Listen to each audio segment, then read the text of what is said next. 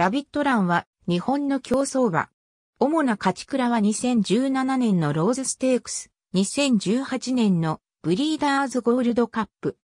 前兄に2012年のブリーダーズカップジュベナイル2着のヒーズハトイナフ、判定に2017年の小倉2歳ステークスを制した浅草元気がいる。2014年3月18日にアメリカ合衆国で生まれる。1歳児の2015年にキーランド、セプテンバーセールで、ヤシロダイファームによって75万ドルで落札され、同年11月に日本へ輸入された。吉田和子名義の所有馬となり、立東、各位勝彦厩舎に入厩。元軽い走りから芝でデビューするプランもあったが、決闘的背景から2016年11月26日の新馬戦でデビューし、2着に7馬審査をつける圧勝で、新馬勝ちを収める。各巨長教師にとっては、この勝利が通算600勝目であった。休養を挟んで3歳5月に復帰し、500万下で2着、6着と足踏みが続いた。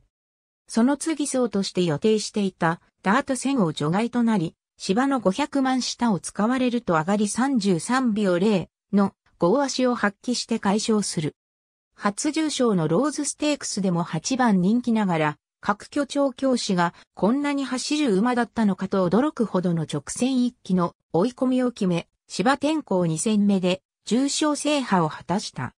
初の GI 挑戦となった秋華賞では、重馬場で切れ味をそがれ、上位3頭からは離された4着にとどまった。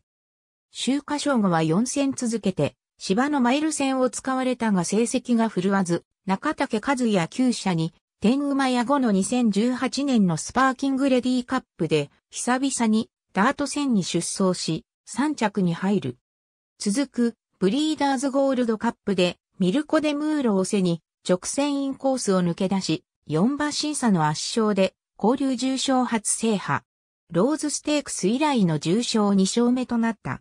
JBC レディスクラシックでは一番人気に押され、直線で一旦は先頭に立つも内からアンジュデジールに差し返されて頭差の2着に惜敗した。2019年は TC 形状坂月から指導、一番人気に押されたが3着に敗れる。9ヶ月休養の後、10月のレディスプレリュードで復帰し、アンデスクイーンの3着に入る。その後の2戦は共に2桁着順に終わった。2020年1月22日付で JRA の競走馬登録を抹消、船橋競馬に移籍。マリーンカップで5着に入ったが、この一戦のみで4月13日付で登録を抹消された。